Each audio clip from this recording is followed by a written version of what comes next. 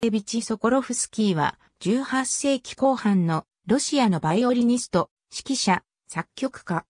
1770年代から1780年代にかけてモスクワにあったイギリス人工業士マイケル・マドックスの劇場で演奏、作曲活動に携わった。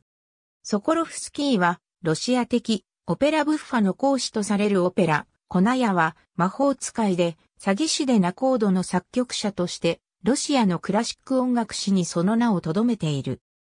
コナヤは魔法使いで詐欺師でナコードはアレクサンドル・アブレシモフの台本にソコロフスキーが音楽をつけた喜劇オペラで1779年1月20日にモスクワで初演され、1785年11月22日、サンクトペテルブルクのエルミタージュ劇場のコケラ落としをこの作品が飾ったのをはじめとして、その後も繰り返し上演された。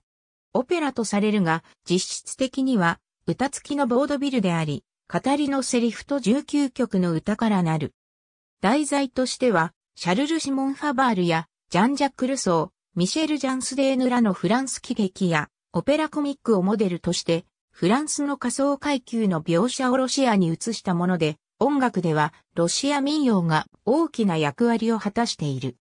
なお、この作品は後にエフスティングネイフォミーンがスコアを改定しており、19世紀半ばの復元上演を経て、1884年の出版の際に作曲者をホミーンとしていたために、その後はホミーンの作品とされていた。ソ連時代に入り、原点研究によって1948年にソコロフスキーの作品であることが証明された。ありがとうございます。